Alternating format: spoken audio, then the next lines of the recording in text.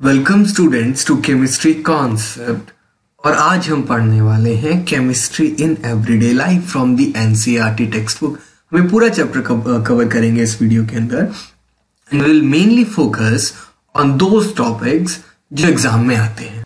Okay so इस chapter का जो सबसे पहला पार्ट है वो है ड्रग्स एंड मेडिसिन तो सबसे पहली चीज़ है ड्रग्स की डेफिनेशन सी सो यहाँ पे गिवन है drugs are chemicals of low molecular masses these interact with the macromolecular targets and produce a biological response okay देखिए, कोई भी चीज़ जो हम कंज्यूम करें और वो बॉडी में जाकर के macromolecular targets macromolecules like proteins amino acids nucleic acid जो भी बॉडी में प्रेजेंट है, उनके साथ इंटरेक्ट करे और कोई बायोलॉजिकल रेस्पॉन्स क्रिएट करे।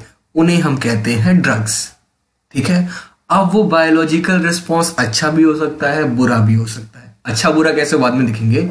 बट अगर वो बायोलॉजिकल रेस्पॉन्स किसी काम का है और किसी डिज़ीज़ को ओवरकम करने में, ठीक करने में हील करने में हेल्पफुल है, तब उस ड्रग को हम बोलेंगे medicine when the biological response is therapeutic and useful these chemicals are called medicine and they are used in diagnosis prevention and treatment of the diseases okay done अब again अगर मैंने कुछ कंज्यूम किया, वो body में गया, उसने कोई बायोलॉजिकल रिस्पॉन्स क्रिएट नहीं किया तो ड्रग है ही नहीं.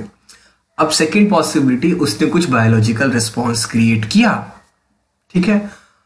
अब, वो तो ड्रग है. अब वो बायोलॉजिकल रिस्पॉन्स अगर अच्छा है और किसी बीमारी को ठीक करने के लिए हम यूज़ कर सकते हैं, यानी उसका कुछ थेरापेटिक एक्शन है, तब तो उनसे हम मेडिसिन बोलेंगे. सो so, सारी ड्रग्स जो है वो मेडिसिन नहीं होती। सिर्फ़ वो ड्रग्स जिनका एक्शन जो है वो हीलिंग हो थेरापेटिक हो यूजफुल हो उन्हें हम मेडिसिन कहते हैं। अब हार्मफुल भी हो सकता है। Poisons okay? Poisons. Okay. Now अगला जो टर्म आता है वो है कीमोथेरेपी कीमोथेरेपी क्या है? याद रखिएगा। Use of chemicals use of chemicals for the treatment of any disease is called chemotherapy एक एक बहुत ही बड़ा मिथ है कि हमें लगता है कीमोथेरेपी जो है वो सिर्फ़ कैंसर के लिए यूज़ होती है, ऐसा नहीं है।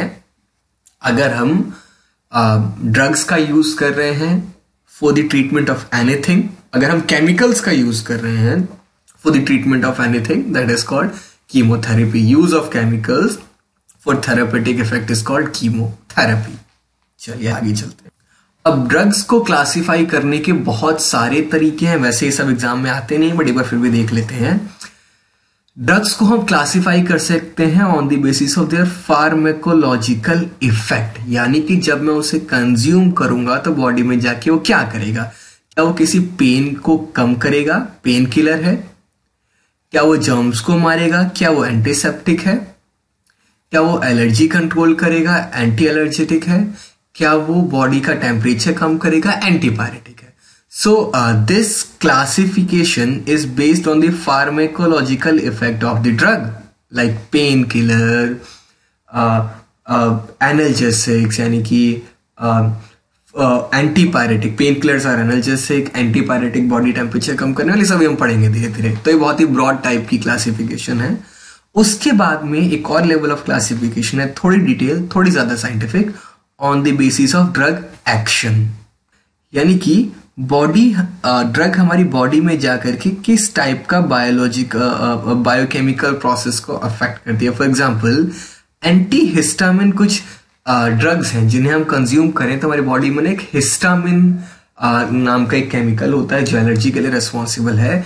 तो जो उस हिस्टामिन को कंट्रोल करे वो एंटी हिस्टामिन अब हो सकता है कि हिस्टामिन को कंट्रोल करने से एलर्जी कंट्रोल हो जाए या कुछ भी रिस्पॉन्स हो वो हमें मतलब नहीं है कि उसका इफ़ेक्ट क्या होगा। हमें उससे मतलब नहीं है। हम बस इतना जानते हैं कि हमारी मेडिसिन ने जाकर के हिस्टामिन के ऊपर काम किया तो एंटी हिस्टामिन हो गई। ठीक है? अच्छा इसके अलावा they are also classified on the basis of their chemical structure जैसे जितनी भी मेडिसिन की स्ट्रक्चर में ये कॉम्पोनेंट होगा, उन्हें हम बोलेंगे सल्फेनोअमाइड्स ड्रग्स अब ये सल्फेनामाइड ड्रग्स अलग अलग टाइप के सल्फेनामाइड ड्रग्स का काम अलग अलग हो सकता है। उनका टारगेट अलग अलग हो सकता है बट क्योंकि उन सबकी स्ट्रक्चर एक जैसी है तो उन सबको सल्फेनामाइड ड्रग्स कह देंगे। ठीक है? जितने भी सल्फेनामाइड ड्रग्स हैं, उन सबकी स्ट्रक्चर ऐसी होगी common they are also classified on the basis of macromolecular targets की वो बॉडी में जाकर के किस चीज़ के ऊपर काम करेंगे प्रोटीन पे या न्यूक्लिक एसिड पे। ये एक बहुत ही बेसिक लेवल ऑफ़ क्लासिफिकेशन थी और इनमें से ज़्यादातर एग्ज़ाम में कुछ आता नहीं है। बस इतना पूछा जाता है कि what is the structure of sulphonamide drugs तो आपको ये याद रखना होगा। चैप्टर शुरू होता है यहाँ से। अब हमने भी पढ़ा ना कि they are also they can also be classified as the molecular targets तो कई बार क्या होता है कि हमारा जो टारगेट है वो एंजाइम हो सकता है। मान लिया बॉडी में कोई एंजाइम है जो ज़रूरत से ज़्यादा एक्टिव हो गया, हमें उसे कंट्रोल करना है। उस केस में जो हम ड्रग कंज्यूम करेंगे, उसका टारगेट क्या होगा? एंजाइम अच्छा उसके पहले एंजाइम काम कैसे करता है? हर एक एंजाइम की ना एक एक्टिव साइट होती है। जब भी कोई सबस्ट्रेट या कोई रिएक्टेंट जिस पे, जिसे जिसके ऊपर उस एंजाइम को एक्ट करना है, वो आता है और वो आकर के उस एक्टिव साइट में फिट हो जाता है तब एंजाइम पहचान पाता है कि उसे किस केमिकल के ऊपर काम करना है। एक्चुअली एंजाइम जो है वो हाईली सेंसिटिव होते हैं। एक एंजाइम किसी एक पर्टिकुलर मॉलिक्यूल के ऊपर ही काम करता है। तो वो मॉलिक्यूल उस एंजाइम को पहचानेगा कैसे या वो एंजाइम उस मॉलिक्यूल को कैसे पहचानेगा? On the basis of its active site जो भी सब्सटेंस उसकी एक्टिव साइट पे फिट हो गया, उसके ऊपर एंजाइम काम करेगा। ठीक है? अब अब अगर मुझे एंजाइम की एक्टिविटी को कंट्रोल करना है तो हमारे पास ना दो तो हम जो ड्रग यूज़ करेंगे those are called enzyme inhibitors जो एंजाइम की एक्टिविटी को कंट्रोल करे। अब, हम करते क्या है? एक नेचुरल सबस्ट्रेट है, जिसके ऊपर एंजाइम काम कर रहा है और हम नहीं चाहते कि एंजाइम उस सबस्ट्रेट से बाइंड हो या फिर उतना अच्छे से बाइंड हो। तो हमने एक ड्रग डालेंगे और वो जो ड्रग है वो बिल्कुल आइडेंटिकल होगी सबस्ट्रेट की की तरह ही। यानी जिस तरीके सबसे सबस्ट्रेट एक्टिव साइट पे बाइंड हो सकता है, वैसे ये ड्रग भी एक्टिव साइट पे बाइंड हो सकती है। और अब जब ये ड्रग बॉडी में जाएगी तो ये कंपटीशन करेगी। It will compete with the natural substrate for the active site तो पहले सारी की सारी एक्टिव साइट पे खाली सबस्ट्रेट मॉलिक्यूल बाइंड होते थे अब कुछ पे जाकर के ड्रग बाइंड हो जाएगा और उस एक्टिव साइट को ब्लॉक कर देगा या उस एंजाइम को ब्लॉक कर देगा। तो क्योंकि यहाँ पे कंपटीशन हो रहा है ड्रग और सबस्ट्रेट के बीच में this type of inhibition is called competitive inhibition और this type of drugs are called competitive inhibitor अब इस टाइप के इनहिबिटर में एक प्रॉब्लम है कि हमारी जो ड्रग है वो बिल्कुल आइडेंटिकल होनी चाहिए सबस्ट्रेट की। और जिसे पता लगा पाना कभी कभी मुश्किल हो सकता है। So we find out another way another type of drugs एक और तरीका हो सकता है एंजाइम की एक्टिविटी को कंट्रोल करने का। हम एक ऐसी मेडिसिन डालते हैं और इनहिबिटर डालते हैं, जो जाकर के एंजाइम से बाइंड तो होता है, लेकिन वो एक्टिव साइट पर बाइंड नहीं होता, बल्कि कहीं और बाइंड हो जाता है। और उस साइट को कहते हैं हम एलोस्ट्रेटिक साइट अब वो जो जब वो इनहिबिटर या ड्रग जाकर के उस एक्टिव साइट पे बाइंड होगी तो उसकी वजह से ना एक्टिव साइट की शेप चेंज हो जाएगी। और जब एक्टिव साइट की शेप चेंज हो जाएगी तो नेचुरल सबस्टेट को वो पहचान नहीं पाएगा या नेचुरल सबस्टेट उससे बाइंड नहीं हो पाएगा। ठीक है? So the site other than the active site at which an inhibitor bites binds is called allosteric site तो पूछा जाता है व्हाट इज़ एलोस्ट्रेटिक साइट और इसे बोलेंगे नॉन कॉम्पिटेटिव इनहिबिटर और इसमें एक अच्छी बात यह है कि हाँ मतलब ज़रूरी नहीं है कि हमारा जो ड्रग हो वो बिल्कुल सबस्टेट की शेप का हो क्योंकि उस एक्टिव साइट पे तो बाइंड होना नहीं है कहीं और बाइंड होना है तो वो किसी भी शेप का हो सकता है। सो so, दो टाइप के हमारे इनहिबिशन हुए कॉम्पिटेटिव एंड नॉन कॉम्पिटेटिव अच्छा एंजाइम के बाद में ना अब रिसेप्टर जैसे ड्रग टारगेट हो सकते हैं। अच्छा रिसेप्टर है क्या? एक्चुअल में आपने देखा होगा कि कुछ लोग जो है ना, वो एडिक्ट हो जाते हैं अल्कोहल के या ड्रग्स के। वो कैसे होते हैं? मतलब क्या, कोई ड्रग कंज्यूम करता है कि तो क्या ड्रग वो हमारी सेल के अंदर जाती है? होता क्या है बॉडी के अंदर? तो बेसिकली होता ये है कि हम, हमारी सेल्स के ऊपर ना एक रिसेप्टर लगा होता है। और बॉडी में बहुत सारे रिसेप्टर्स हैं और अलग अलग केमिकल्स के लिए अलग अलग रिसेप्टर होते हैं। जब कोई पहली बार एल, बार अल्कोहल को कंज्यूम करता है तो अल्कोहल उसे इतनी अच्छी नहीं लगती। लेकिन जब अल्कोहल के मॉलिक्यूल्स वाले हमारी ब्लड स्ट्रीम के अंदर जाते हैं और वो अपने रिसेप्टर से हर एक मॉलिक्यूल का एक अलग रिसेप्टर होता है। उस उस रिसेप्टर के कांटेक्ट में आते हैं तो रिसेप्टर ना एक्टिवेट हो जाता है। अब हर एक पर्टिकुलर इंटरवल के बाद भैया उस रिसेप्टर को अल्कोहल मॉलिक्यूल बॉडी के अंदर चाहिए और ऐसे जाकर के आ, कोई आदमी एडिक्ट हो जाता है। तो ये तो सिर्फ़ एक नेगेटिव काम हुआ रिसेप्टर का। रिसेप्टर का पॉजिटिव काम भी है। बहुत सारे हॉर्मोन्स भी ऐसे ही काम करते हैं। हॉर्मोन्स क्या होते हैं? ऑब्वियसली हॉर्मोन्स वो हैं जो सेल को आ, को की हेल्प करते हैं और उनको वी कैन से मैसेज देते हैं कि भैया सेल आपको एक पर्टिकुलर काम करना है। जैसे इंसुलिन थोड़े ही जाकर के शुगर को डायरेक्टली कंट्रोल करता है। वो बॉडी के सेल्स को बताता है भैया कि शुगर को कंट्रोल करो। तो करता कैसा? Gain through the active side through the receptor ठीक है? तो रिसेप्टर्स है क्या? Receptors are the proteins that are crucial for the body's communication process ठीक है? And these all are embedded in the cell membranes ठीक है? सेल मेम्ब्रेन है, उसका एक पार्ट बाहर की तरफ़ होता है रिसेप्टर का और एक पार्ट होता है सेल के अंदर की तरफ़। अब जब कोई भी मैसेंजर आता है अल्कोहल हो या कोई हार्मोन हो वो सेल के अंदर नहीं जाता। वो आएगा, वो अपने रिसेप्टर के पास जाएगा। अब उस रिसेप्टर को रिसीव करने के लिए जो बाइंडिंग साइट की शेप है, वो एडजस्ट होगी सो दैट वो कॉम्प्लीमेंट्री हो सके। और जब उसकी शेप एडजस्ट होगी तो देखिए रिसेप्टर के अंदर का टोटल वॉल्यूम तो फिक्स्ड ही रहेगा। तो जब ऊपर शेप चेंज हुई तो उसको कंपनसेट करने के लिए शेप नीचे भी चेंज होती है। और जब नीचे शेप चेंज होती है सेल के अंदर की तरफ़ तो सेल को पता चलता है, भैया, कि अल्कोहल का मॉलिक्यूल या हार्मोन का मॉलिक्यूल आ गया है। और इस तरीके से इंफॉर्मेशन जो हमारा मैसेंजर है, वो सेल को ट्रांसफ़र कर देता है, बिना सेल के अंदर गए। ठीक है? In the body the messages between two neurons and that between neurons to muscle is communicated through certain chemicals these chemicals are known as chemical messenger and are received at the binding site of the receptor proteins. To accommodate a messenger, the shape of the receptor site changes. This brings about a transfer of message into the cell. Thus, chemical messenger gives the message to the cell without entering the cell. अब दो चीज़ें हो सकती है messenger अच्छा भी हो सकता है मैसेंजर बुरा भी हो सकता है हार्मोन है तो मैसेंजर अच्छा है और अगर कोई अल्कोहल टाइप का मॉलिक्यूल है तो मैसेंजर बुरा है ठीक है तो हम एक काम कर सकते हैं देखिए, अब दो चीज़ें हो सकती हैं कि बॉडी में रिसेप्टर ज़रूरत से ज़्यादा एक्टिवेट हो गया है। जैसे कि अल्कोहल को कंज्यूम कर रहा है रिसेप्टर एक्टिवेट हो गया है, जिसकी वजह से बॉडी को after certain interval of time alcohol चाहिए। तो हम वहाँ पे क्या चाहेंगे कि रिसेप्टर हमारा ब्लॉक हो जाए। तो उस केस में हम जिस मेडिसिन का का यूज़ करेंगे दोज आर कॉल्ड एंटागोनिस्ट ये मेडिसिन जा करके उस रिसेप्टर से बाइंड हो जाएँगी और उसे ब्लॉक कर देगी। Drugs that bind to the receptor site and inhibits its natural function are called antagonist and these are useful when the blocking of the messenger is required on the other hand मान लिया body में किसी hormone की कमी हो गई। अब उस हार्मोन का जो काम है वो कौन करे? उसके रिसेप्टर को जाकर के एक्टिवेट कौन करे? तो बॉडी में नेचुरल मैसेंजर नहीं है।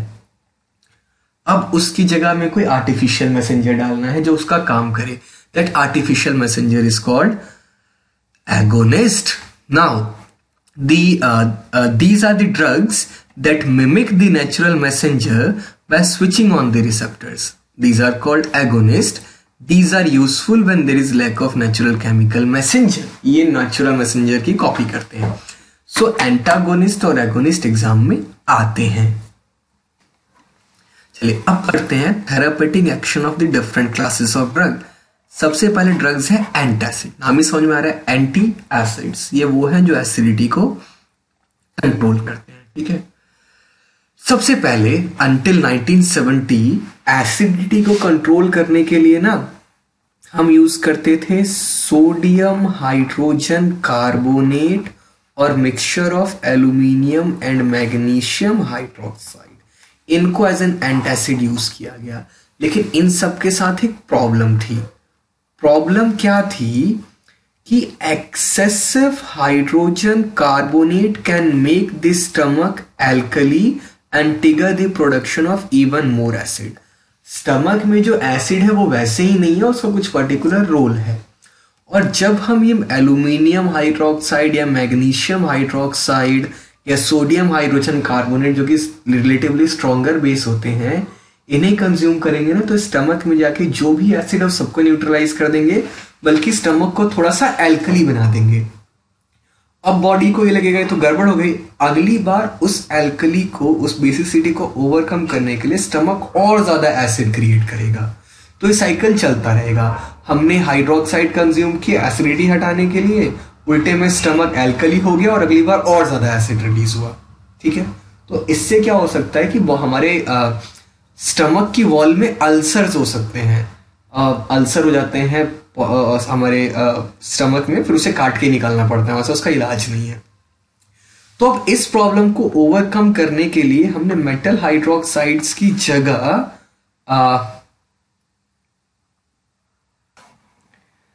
therapeutic action of the different classes of drug सबसे पहले क्लास ऑफ़ ड्रग है एंटासिड्स हम सब जानते हैं हमारे स्टमक में एक एसिड होता है हाइड्रोक्लोरिक एसिड उसका कुछ रोल है फ़ूड की डाइजेशन में डाइजेशन में हेल्प करना। या फिर कई बार कुछ माइक्रो वगैरह कंज्यूम करे तो उनको जला करके मार डालना। उसका काम कुछ इम्यूनिटी का भी है। बट कई बार कुछ ऐसे केमिकल्स हम कंज्यूम कर लेते हैं जिससे कि बॉडी में ज़्यादा एसिड कंज्यूम प्रोड्यूस होने लगता है। ठीक है? एसिडिटी कहते हैं। तो स्टार्टिंग में हम लोग ना सोडियम हाइड्रोजन कार्बोनेट यूज़ किया करते थे ठीक है? आ, हम उसे कंज्यूम करते थे ताकि एसिडिटी खत्म हो जाए। लेकिन उसके साथ एक प्रॉब्लम थी। प्रॉब्लम ये थी कि अगर मैंने हमने जब सोडियम हाइड्रोजन कार्बोनेट कंज्यूम किया तो उस एसिडिटी को हटाएगा बल्कि स्टमक को एल्कली बना देगा। और जब स्टमक एल्कली हो जाएगा ना एकदम बेसिक हो गया तो अगली बार और ज़्यादा एसिड रिलीज़ होगा बिकॉज़ एल्कली नहीं होना चाहिए स्टमक तो, तो कुछ फ़ायदा ही नहीं हुआ। So the excessive hydrogen carbonate can make stomach alkali and trigger the production of even more acid तो कुछ फ़ायदा नहीं है। तो बाद में ना हमने एल्यूमिनियम और मैग्नीशियम हाइड्रोक्साइड यूज़ करने शुरू किए। इनका क्या फ़ायदा था कि ये स्टमक में उतने सल्यू ये वाटर में इतने सल्यूबल होते नहीं है। तो ये ना बॉडी को मतलब हमारे स्टमक को सिर्फ़ न्यूट्रल करते हैं एल्कली नहीं करते।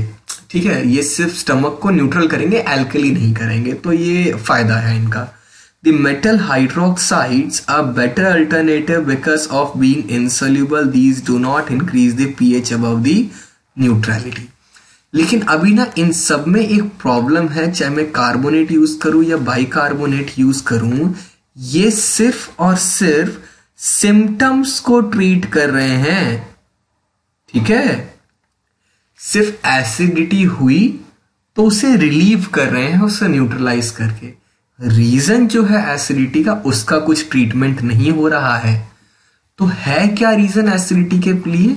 एसिडिटी के लिए ना एक केमिकल रेस्पॉन्सिबल है, जिसके बारे में ऊपर भी बात कर चुके हैं। उसका नाम है हिस्टामिन ठीक है? हिस्टामिन इज़ रेस्पॉन्सिबल तो भैया, उस हिस्टामिन को हटाने के लिए हिस्टामिन वो केमिकल है which stimulate the secretion of hydrochloric acid in stomach जब वो हाइपर एक्टिव हो जाता है तो अभी वो एसिडिटी होती है। तो अगर हम हिस्टामिन को कंट्रोल करें तो एक्चुअल में उसका ट्रीटमेंट होगा। तो हमने कुछ सीमेंटाडिन कुछ आपको मेडिसिन याद रखनी है। इसके अलावा Zantac which is also called ranitidine ये सब एंट एसिड्स हैं दे आर एंड एसिड्स ये एक्चुअल में मेडिसिन से एसिडिटी को कंट्रोल करने के लिए। आपको इस स्टमक आपको ये स्ट्रक्चर से याद करने की ज़रूरत नहीं है।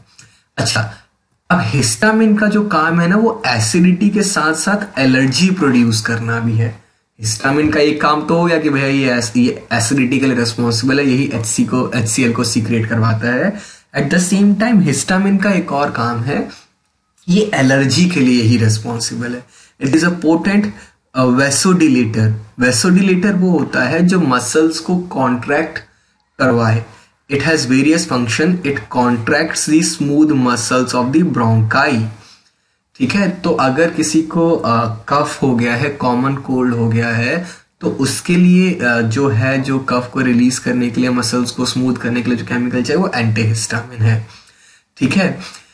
Histamine is also responsible for the nasal congestion associated with the common cold and the allergic response to the pollen जो भी हमें एलर्जी होती है, वो हिस्टामिन की वजह से ही है। पोलन ग्रीन बॉडी में आता है हिस्टामिन सिगरेट हो जाता है और हमें एलर्जी हो जाती है। तो हम, अगर हमें एलर्जी को कंट्रोल करना है तो हमें अगेन फिर से कुछ ऐसी मेडिसिन चाहिए जो हिस्टामिन को कंट्रोल करे। And those are called anti histamine drugs और यहाँ पे उनके नाम गिवन है, आपको ये नाम याद रखने पड़ेंगे। अब देखिए, अब आपने हिस्टामिन का नाम दो बार देख लिया। एक बार तो एंटासिड में भी है और एक बार हमने एंटी एलर्जेटिक में भी देख लिया। तो क्वेश्चन ये आता है कि अगर दोनों के लिए एसिडिटी के लिए भी हिस्टामिन ही रेस्पॉन्सिबल है, उसे ही कंट्रोल करना है। एलर्जी के लिए भी हिस्टामिन ही रेस्पॉन्सिबल है, उसे ही कंट्रोल करना है। तो दोनों की एक ही मेडिसिन क्यों नहीं है? ठीक है? Why do above mention antihistamine do not affect the secretion of acid in the stomach and the reason is anti allergic and antacid drugs work on the different receptors हमने रिसेप्टर के बारे में पढ़ा था ना? अल्टीमेटली दोनों histamine को ही control करती हैं। लेकिन एंटी एलर्जिक ड्रग्स का रिसेप्टर अलग है एंटासिड्स का रिसेप्टर अलग है, वो मेडिसिन बॉडी में जाएँगी, उन रिसेप्टर्स को एक्टिवेट करेंगी, फिर वो एस रिसेप्टर जाकर के एंटासिड्स को कंट्रोल करेंगे। क्योंकि इनके रिसेप्टर अलग अलग हैं, इसलिए दूसरे, एक दूसरे काम को अफेक्ट नहीं करती।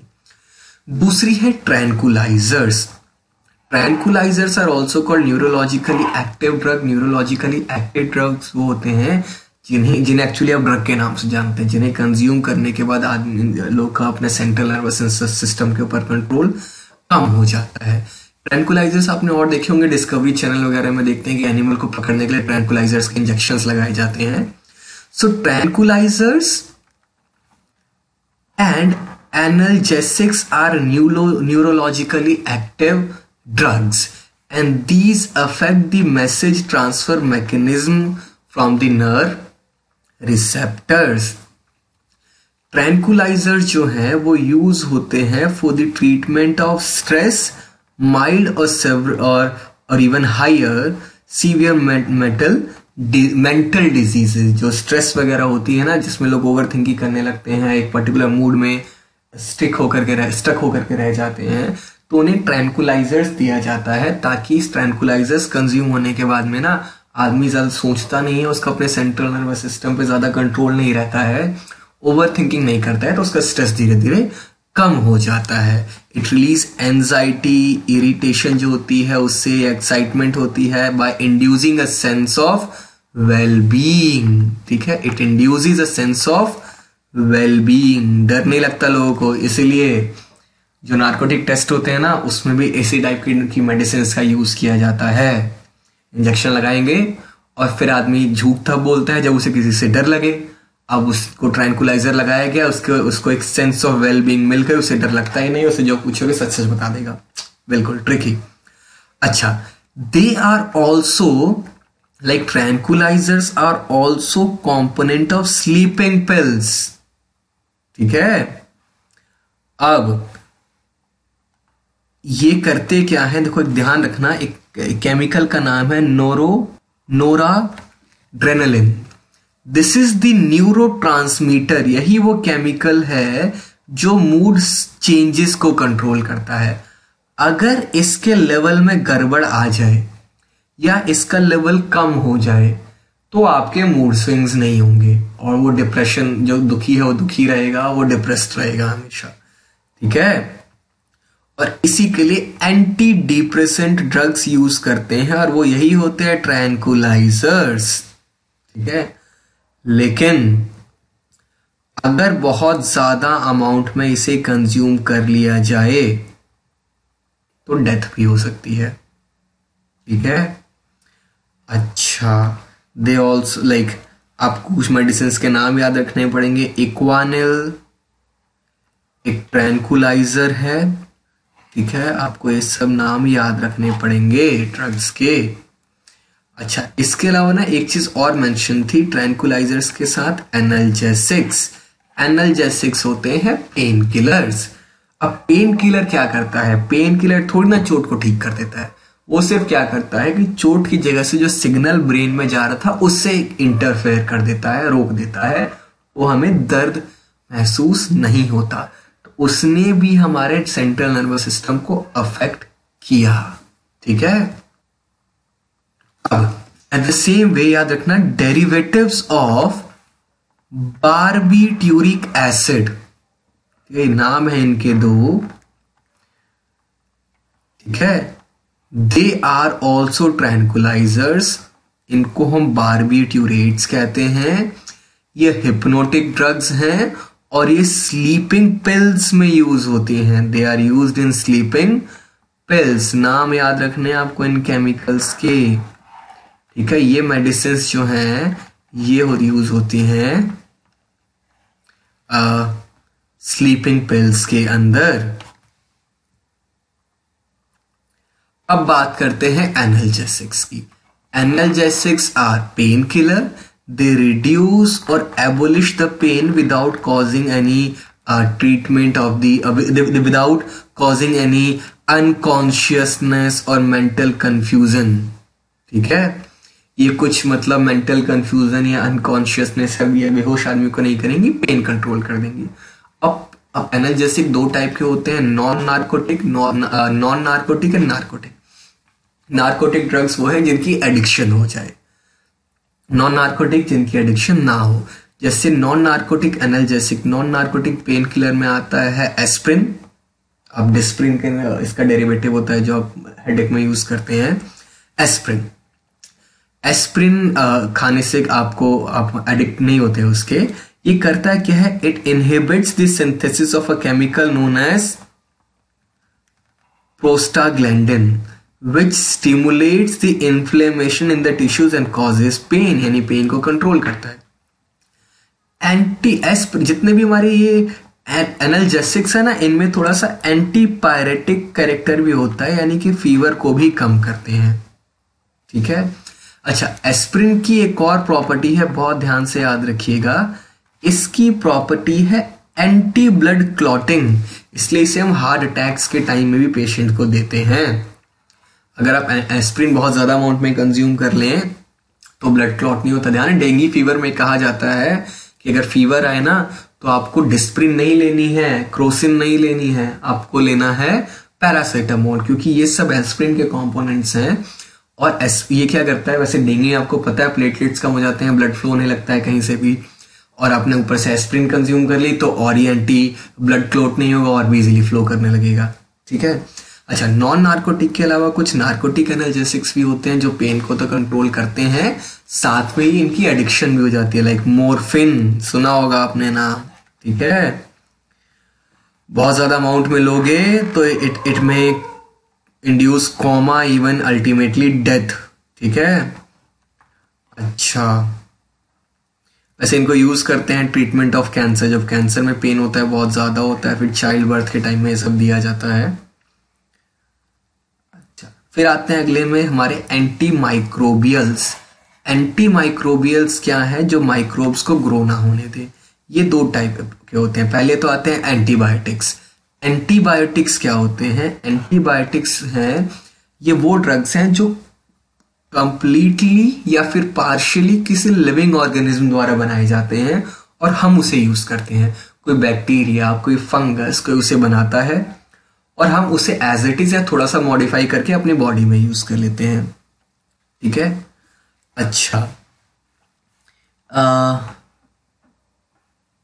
यहाँ पे लिखा है antibiotics are used as drugs to treat infection because of their low toxicity for humans and animals initially antibiotics were classified as the chemical substances produced by microorganism that inhibit the growth or even destroy the microorganism.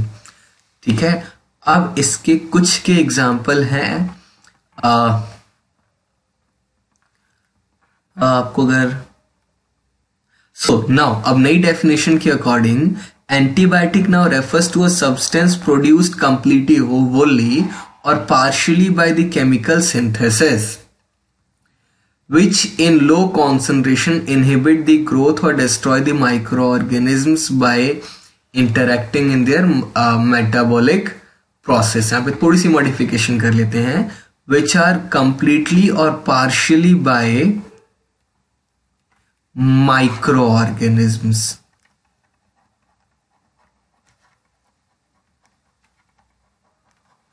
ठीक है या तो completely micro organism से बने हो या फिर partially तो माइक्रो ऑर्गेनिज्म से बने ही हो और उन्हें हम यूज़ करें। जैसे कि पेनिसिलियम एक फंगस होता है जिससे हमने पेनिसिलिन बनाया। अच्छा अब इसके अलावा ना कुछ याद करिएगा दो। अच्छा इनके एग्जाम्पल्स हम देख लें जिनके पीछे सेलिन लगा होता है लाइक अमोक्सीसिलिन पेनिसिलिन ये सब एंटी बायोटिक्स ही होते हैं। और इसके अंदर आ, ये दो टाइप के होते हैं। मैं आपको बताता हूँ। Bactericidal and bacteriostatic. बैक्टीरियोसाइडल वो होते हैं जो बैक्टीरिया को टोटली किल कर दें। साइडल मतलब they kill the bacteria and bacteriostatic they stop the growth of bacteria आपको याद करने होंगे।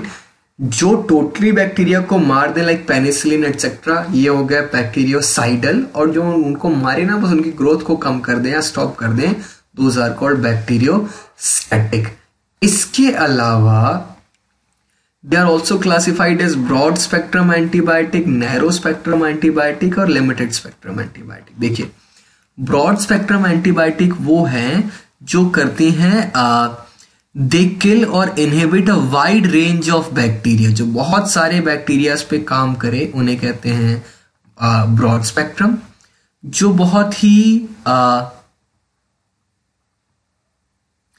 कम मतलब बहुत ज़्यादा बैक्टीरिया पे काम ना करे, या तो ग्राम पॉजिटिव पे करे या ग्राम नेगेटिव पे करे, उन्हें हम कहते हैं नैरो स्पेक्ट्रम एंटीबायोटिक और जो किसी एक ही एक ही बैक्टीरिया पे काम करे ऑन अ सिंगल ऑर्गेनिज्म उन्हें कहते हैं लिमिटेड स्पेक्ट्रम तो जिससे बहुत सारी डिज़ीज़ का इलाज हो सके ब्रॉड स्पेक्ट्रम कम का इलाज हो सके नैरो स्पेक्ट्रम किसी एक का हो सके लिमिटेड स्पेक्ट्रम अच्छा एक चीज़ और थी यहाँ पे कि सल्फानामाइड जो ड्रग्स हैं, वो एकदम एंटीबायोटिक की तरह ही काम करते हैं, लेकिन उनको हम एंटीबायोटिक कहते नहीं है। उसका रीजन ये है कि उन्हें कंप्लीटली लैब में बनाया गया है। अभी हमने पढ़ा है कि एंटीबायोटिक को कंप्लीटली या पार्शियली कोई माइक्रो ऑर्गेनिज्म बनाए, तभी उसे हम एंटीबायोटिक कहेंगे। लेकिन सल्फानामाइड जो है, वो कंप्लीटली सिंथेटिक है भले ये काम एंटीबायोटिक की तरह करे, लेकिन इसे एंटीबायोटिक कहते नहीं है। अच्छा आपको ग्राम, आपको लिमिटेड स्पेक्ट्रम और ब्रॉड स्पेक्ट्रम के एग्जांपल आपको याद करने पड़ेंगे। Penicillin G is a narrow spectrum ampicillin and amoxicillin are the synthetic modification of penicillin they are the broad spectrum तो आपको नैरो स्पेक्ट्रम और ब्रॉड स्पेक्ट्रम के याद रखने पड़ेंगे। इंडिया में जो मैन्युफैक्चरिंग है पेनिसिलिन का, वो होती है हिंदुस्तान एंटीबायोटिक्स इन पिंपरी जगह का नाम है। अच्छा।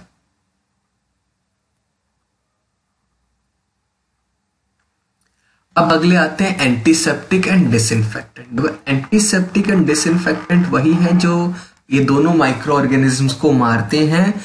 डेटॉल और फिनाइल में डिफरेंस मालूम है आपको? दोनों का काम है जर्म्स को मारना। लेकिन अगर चोट लगेगी तो उसे फिनाइल नहीं लगा सकता। ठीक है? चोट लगेगी तो मुझे डेटॉल लगाना पड़ेगा।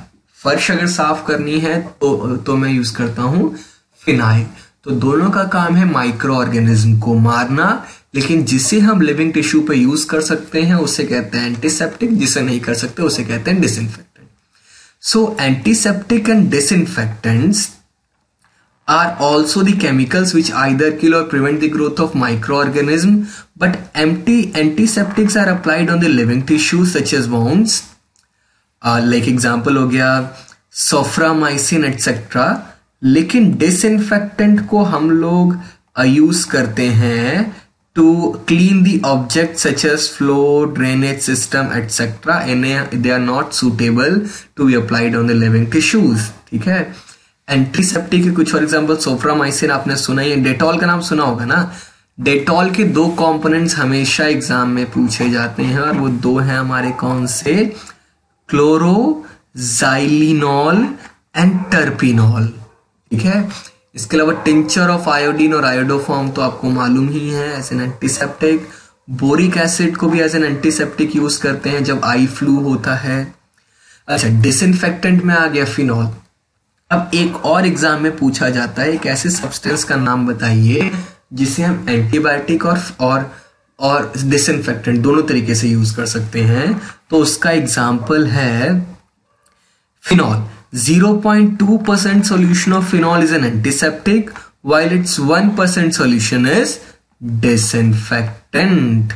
ठीक है? ये आपको याद रखना है। परफेक्ट चलिए।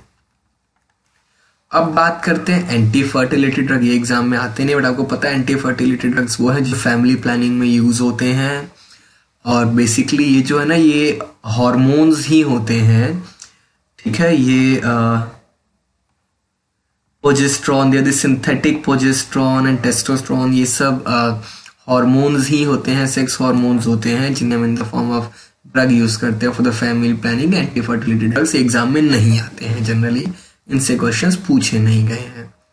जैसे क्वेश्चन है sleeping pills are recommended by the doctors to the patient suffering from the sleeplessness but it is not advise to take the doses without the consultation of the doctor क्योंकि अगर access में ले लिया तो इससे comma या फिर death भी हो सकती है। ठीक है? अच्छा। इसके बाद में आते हैं केमिकल्स इन फ़ूड फ़ूड में केमिकल्स का क्या काम? तो कई बार हम कलर ऐड करते हैं फ्लेवर ऐड करते हैं। बहुत सारे एंटीऑक्सीडेंट प्रिजर्वेंट्स प्रिजर्वेटिव्स बहुत सारे तरीके हैं जिन, जिनमें हम केमिकल्स को यूज़ करते हैं in the food edible chemicals obviously आप अगर कोई केमिकल फ़ूड में डालना चाहते हैं कलर्स बढ़ाने के लिए फ्लेवर्स बढ़ाने के लिए तो ज़ाहिर सी बात है कि वो पॉइजनस या टॉक्सिक नहीं होना चाहिए सब्सटेंस ओके तो अभी अब एनीवे हमें जो बेसिकली पढ़ना है, वो पढ़ने आर्टिफिशियल स्वीटनिंग एजेंट्स अब नेचुरल स्वीटनिंग एजेंट तो हम जानते हैं, ये होता है सुक्रोज ठीक है? अच्छा अब आर्टिफिशियल स्वीटनिंग एजेंट क्या है? देखो सुक्रोज के साथ एक प्रॉब्लम है कि भैया ये कैलोरी प्रोड्यूस करता है। आजकल लोग हेल्थ कॉन्शियस होते हैं कैलोरी नहीं चाहते हैं। इसके अलावा डायबिटिक पेशेंट्स भी होते हैं जिन्हें कैलोरीज नहीं चाहिए। तो उसके लिए हमने कुछ आर्टिफिशियल स्वीटनर्स बनाए और ये रहे उनके they do not provide any calories ठीक है? They do not add any calories to the food but sweet taste आता है। जैसे एग्ज़ाम में एक है एस्पार्टेम आपको स्ट्रक्चर याद नहीं करनी है किसी की। एक आर्टिफिशियल स्वीटनर का नाम गिवन है और इसकी स्वीटनेस वैल्यू गिवन है। स्वीटनेस वैल्यू का मतलब है कि केन शुगर यानी सुक्रोज से कितना टाइम ज़्यादा स्वीट है। तो जो हमारा एस्पार्टेम है, वो हंड्रेड टाइम्स स्वीटर होता है हमारे नेचुरल शुगर के। बहुत अच्छी बात है, जहाँ मुझे सौ ग्राम शुगर चाहिए होगी, एक ग्राम एस्पार्टेम से काम चल जाएगा। दूसरा होता है saccharin which is 550 times sweeter than the natural sugar or sucrose then sucralose है जो 600 टाइम्स स्वीटर है देन द सुक्रोज और अपना है एलिटेम जो कि 2000 टाइम्स स्वीटर है. यानी कि जहाँ मुझे दो किलो चीनी लगेगी, सिर्फ़ एक ग्राम एलिटेम से काम चल जाएगा। अब सबसे ज़्यादा जो यूज़ होता है ना आर्टिफिशियल स्वीटनर वो है एस्पार्टेम लेकिन इसकी एक लिमिटेशन है एग्ज़ाम में आती है। इसकी लिमिटेशन ये है कि इससे हम आ, ये अनस्टेबल होता है एट एट कुकिंग टेम्परेचर तो गर्म खाने में से नहीं डाल सकते। लिखा होगा देखिए यहाँ पे। It is mentioned here the use of aspartame is limited to the cold foods and soft drink because it is unstable at the cooking temperature. दूसरा है एलिटिम जो कि 2000 टाइम ज़्यादा स्वीटर है हमारे सुक्रोज से, और ये कुकिंग टेम्परेचर पे स्टेबल भी है, लेकिन इसकी प्रॉब्लम यही है कि इतना ज़्यादा मीठा है कि इसकी स्वीटनेस को कंट्रोल करना ही बड़ा मुश्किल है। सोचिए, अगर आपने वन ग्राम भी शुगर सुक्रोज डाल एलिटियम डाल दिया तो आपका जो कॉफ़ी है या टी है, वो इतनी मीठी हो जाएगी जैसे आपने उसमें दो किलो चीनी डिजोल्व कर दी हो। तो यही इसके साथ प्रॉब्लम है कि it is very difficult it is very difficult to control its sweetness although it is more stable but still it is very difficult to its sweetness. Value exam में पूछा जाता है what is limitation of aspartame what is limitation with alitame aspartame के साथ दिक्कत ये it is unstable at cooking temperature alitame के साथ दिक्कत ये है कि इसकी स्वीटनेस वैल्यू कंट्रोल करना बड़ा मुश्किल है। सुक्रालोज सुक्रालोज को हम यूज़ कर सकते हैं एज अ शुगर फ्री ये ज़्यादा मीठा भी नहीं है कुकिंग टेम्परेचर पे स्टेबल भी है।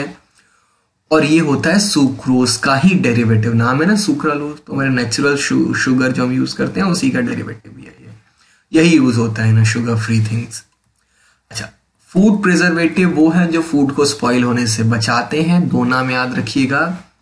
Sodium benzoate and the salt of sorbic acid and propanoic acid ठीक है? दे आर यूज़ इन अच्छा इनको यूज़ क्यों करते हैं? सोडियम बेंजोएट के साथ अच्छी बात क्या है? कि ये बॉडी में ना मेटाबोलाइज हो जाता है और बॉडी से बाहर निकल के आ जाता है। मतलब बॉडी में इकट्ठा नहीं होता। ठीक है? अच्छा। एंटीऑक्सीडेंट्स वो है लेट से ऑक्सीडेशन हमारा जो ऑक्सीजन है एटमोसफेयर में वो फ़ूड को ऑक्सीडाइज कर देता है, खराब कर देता है। तो उसको ऑक्सीडाइज होने से बचाने के लिए हम एंटीऑक्सीडेंट यूज़ करते हैं। याद रखिएगा दो नाम बी एच टी और B H A B H T is butylated hydroxy toluene and butylated hydroxy anisole ये दोनों एग्ज़ाम में आपको याद रखने हैं। They have more affinity for the oxygen तो जैसे ही ऑक्सीजन आएगा, ये फ़ूड की जगह खुद रिएक्ट कर जाएँगे ऑक्सीजन से। ठीक है? sometime BHT and BHA along with the citric acid are added to the pro to produce more effect. Sulfur dioxide and sulfites are used as as useful antioxidant for wine and beer. Sugar syrups and and cut ple uh, cut peeled uh, anyway uh, cut peel or dried fruits and the vegetables ये क्या मजाक है so they saying sulphur dioxide जो है, वो antioxidant use होता है wine के लिए बियर के लिए, और जो हमारे ड्राइड फ्रूट्स वगैरह होते हैं, उनके लिए सल्फ़र डाइऑक्साइड को यूज़ करते हैं एज प्रिजर्वेटिव हो गया। नेक्स्ट आता है cleansing action of the soap सबसे अच्छी क्लिनसिंग एजेंट अच्छा आपको पता है सोप क्या है डिटर्जेंट क्या है? अगर आपको दोनों के बीच का डिफरेंस पता है तो आप गलत सोचते हैं। सोप और डिटर्जेंट में ज़्यादा डिफरेंस नहीं है, बल्कि सोप डिटर्जेंट ही होते हैं। एनीथिंग ऐसा नहीं है कि सोप और डिटर्जेंट दो अलग अलग चीज़ें हैं। Anything which can clean something is called detergent soap is a detergent और जिससे आप डिटर्जेंट कहते हैं, वो सिंथेटिक डिटर्जेंट है to be more accurate okay two type of detergents are use as a cleansing agents soaps and this synthetic detergent clear हो गया? तो सोप भी एक डिटर्जेंट ही है। जिसे हम डिटर्जेंट कहते हैं, वो सिंथेटिक डिटर्जेंट है और सोप नेचुरल डिटर्जेंट है। नेचुरल क्यों कहते हैं हम? क्योंकि इसे एक्चुअली फैट जो होते हैं ना बॉडी फैट सरप्राइजिंगली जी हाँ फैट से ही बनता है साबुन जो हमारे फैट्स हैं, वो एस्टर्स होते हैं। उनकी जब हाइड्रोलिसिस कराते हैं तो हमें sodium salt of fatty acids carboxylic acid मिलते हैं। और यही होते हैं सोप मॉलिक्यूल्स और क्योंकि ये फैटी एसिड्स हैं तो ये बायोडिग्रेडेबल है और ये नेचुरल है और इनसे कुछ ज़्यादा पोल्यूशन होता नहीं है। आई होप आपको cleansing action of the soap तो मालूम ही होगा कि भैया इसकी एक हाइड्रोफोबिक टेल होती है है ना? और एक हाइड्रोफिलिक हेड होता है। हेड को पानी से अफेक्शन है टेल को ऑयल से अफेक्शन है। तो ऑयल से जा करके ये अटैच हो जाता है। तो ये सब तो आपने पहले ही पढ़ा ही है। अभी जो हमने पढ़ा पढ़ना है, वो ये है type of soap toilet soaps होते हैं, आपको मालूम है, जो हम हम यूज़ करते हैं किसके लिए? यस अपने स्किन के लिए, ठीक है? और जो हम हमने, आपने देखा होगा, ऊपर वाले रिएक्शन हमने एल्कली यूज़ किया था। तो टॉयलेट सोप क्योंकि अपनी स्किन पे यूज़ करने हैं टू वी मेक श्योर कि जो भी एक्सेस ऑफ़ एल्कली है, उसे रिमूव कर लिया जाए। उसमें थोड़ा हम कलर या परफ्यूम वगैरह ऐड कर देते हैं to make them more attractive soaps that floats over the water उनमें क्या करते हैं कि उन वो उसमें हम लोग ना थोड़ा एयर बबल्स को बीट कर देते हैं beating the tiny air bubbles ठीक है? ट्रांसपेरेंट सोप भी बनते हैं by dissolving this soap in ethanol and then evaporating the excess of solvent medicated soap बनते हैं। उनमें डिओड्रेंट्स वगैरह और आ, कुछ एंटीसेप्टिक्स जैसे कि बिथियोनल बिथियोनल बिथियोनल नाम याद रखिएगा वो ऐड किया जाता है। ठीक है? अच्छा अब इसमें तो कुछ और नहीं है सोप चिप्स होते हैं हमें इसमें और कुछ नहीं आता एग्ज़ाम में कुछ पढ़ने की ज़रूरत नहीं है।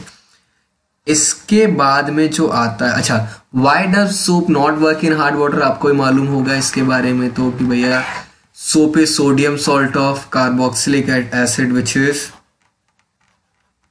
soluble in water अगर वाटर एक हार्ड वाटर है, यानी उसके अंदर कैल्शियम या मैग्नीशियम सॉल्ट है तो पानी में जाने के बाद सोडियम सॉल्ट की जगह कैल्शियम सॉल्ट में कन्वर्ट हो जाता है which is insoluble in water और इकट्ठा हो जाता है in the form of scum ठीक है? That's why soap doesn't work in hard water जब डिजोल्व ही नहीं होगा तो काम कैसे करेगा? तो इस चीज़ को ओवरकम करने के लिए हमने सिंथेटिक डिटर्जेंट्स बनाए। जिन्हें आप डिटर्जेंट्स कहते हैं, ठीक है?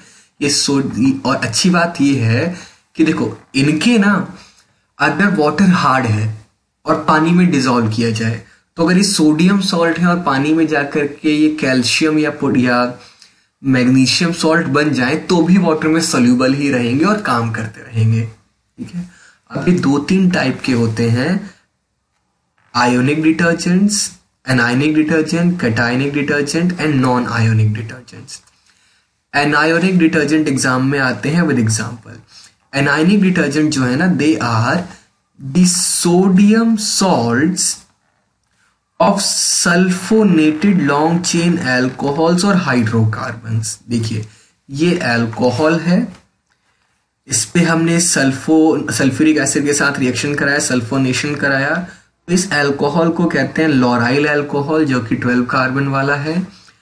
तो जब सल्फेट ग्रुप लगाया तो उसका नाम हो गया लोराइल हाइड्रोजन सल्फेट उसकी जब सोडियम के साथ रिएक्शन सोडियम हाइड्रोक्साइड के साथ रिएक्शन कराई गई तो बन गया सोडियम लोराइल सल्फेट और यही वो डिटर्जेंट है जो टूथपेस्ट में यूज़ होता है। याद रखिएगा टूथपेस्ट में यही होता है, नमक नहीं होता। सॉल्ट हो सकता है, ये भी तो एक सॉल्ट ही है ना। ठीक है? अच्छा। तो एनाइन अच्छा इसे एनायोनिक डिटर्जेंट क्यों कहा गया? अगर आप इस डिटर्जेंट को के मॉलिक्यूल को ध्यान से देखें then you will find out कि जो जो हमारा एनायनिक जो हमारे डिटर्जेंट है मेन उसके ऊपर कैसा चार्ज है? नेगेटिव चार्ज इसलिए इसे एनायनिक डिटर्जेंट कहते हैं। ठीक है? ऐसे ही होते हैं कैटायोनिक डिटर्जेंट्स अब जो कैटायोनिक डिटर्जेंट्स हैं, वो होते हैं क्वाटिनरी अमोनियम सॉल्ट जैसे अगर ये एक आर लगाओ तो प्राइमरी अमाइन दो आर लगाओ तो सेकेंडरी तीन आर लगाओ नाइट्रोजन से तो टर्शरी चार आर लग जाए तो नाइट्रोजन पे एक पॉजिटिव चार्ज आ जाता है which can be balanced by an halogen quaternary ammonium salt और ये भी एक डिटर्जेंट की तरह काम करता है and these are called cationic detergents reason आप देख सकते हैं डिटर्जेंट के ऊपर पॉजिटिव चार्ज है। ठीक है? एग्जाम्प है एग्ज़ाम्पल है इसका cetyl tri methyl aluminium bromide, ये भी एग्ज़ाम में आता है। Okay, and cationic detergent have ध्यान रखिएगा, germicidal cidal properties and they are expensive therefore these are rare and of limited use cationic anionic के बाद में नॉन आयोनिक डिटर्जेंट्स भी आते हैं। इनमें ना डिटर्जेंट के ऊपर कोई पॉजिटिव या नेगेटिव चार्ज नहीं होता। देखिए, अब स्टेरिक एसिड यूज़ किया गया सिक्सटीन सेवनटीन एटीन कार्बन वाला कार्बोक्सिलिक एसिड और हमने जो बनाया नॉन आयनिक हुआ। ठीक है तो तीन टाइप के होते हैं cationic anionic and non ionic अब दिक्कत क्या है इनके साथ में सिंथेटिक डिटर्जेंट्स के साथ में, कि ये सारे के सारे पोल्यूशन क्रिएट करते हैं बायोडिग्रेडेबल नहीं होते। एक बड़ी प्रॉब्लम है। आपने कई बार रिवर में फ्रॉथ बनता हुआ देखा होगा, झाग बनता देखा होगा व्हाइट कलर का। उन्हें बहुत बड़ा रोल इन डिटर्जेंट्स का होता है मीथेन गैस के साथ साथ। तो इनको ना main problem that appears with the use of detergent is they are they are highly they highly branch and they can not be degraded by the bacteria आप इस प्रॉब्लम को ओवरकम करने के लिए हमने पता लगाया कि क्योंकि उनमें ब्रांचिंग होती है, इसलिए बैक्टीरिया उन्हें डिग्रेड नहीं कर पाते। तो हम क्या कर सकते हैं कि अगर हम उनकी ब्रांचिंग को कंट्रोल कर दें तो हम डिटर्जेंट्स को बायोडिग्रेडेबल बना सकते हैं। एग्ज़ाम में आज पूछा जाता है ये। These days branching of the hydrocarbon chain is controlled and kept to the minimum unbranched chain can be biodegraded more easily and hence produce hence pollution is less i hope this chapter was clear to you हमने सब कुछ explain किया और जो जो मैंने बताया है इस वीडियो में वही एग्ज़ाम में आता है ठीक है कुछ डाउट हो you can still ask in our comment section and please don't like don't forget to like share and subscribe the channel and please don't forget to uh, share this video with your friends and like this video and subscribe the channel more for more such videos. Thank you